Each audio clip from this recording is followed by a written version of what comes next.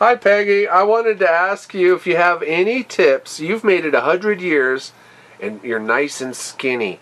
You have a great figure. Tell me, tell women out there, how can they stay slim?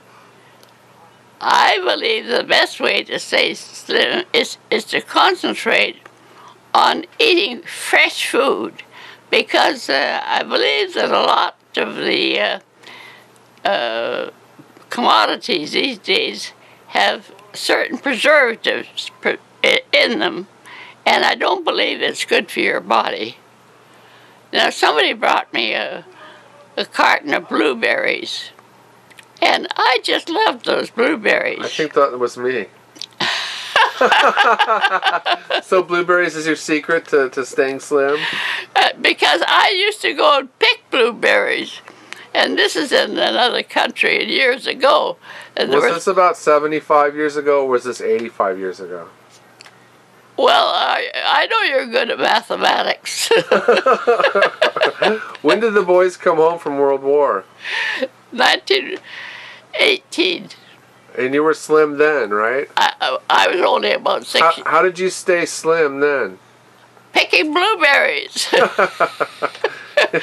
there are certain places that that these blueberries would grow at a lower altitude at a higher altitude.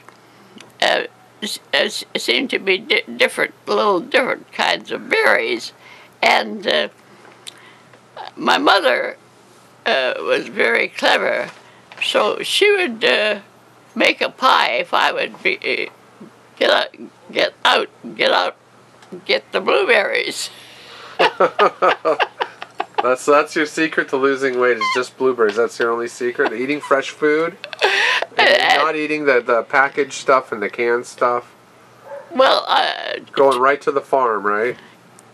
As as as much as possible, if people have a little place, they should have a little garden, and it, it's surprising all you can grow even in these trailer parks. At one time, I even was growing corn at the back.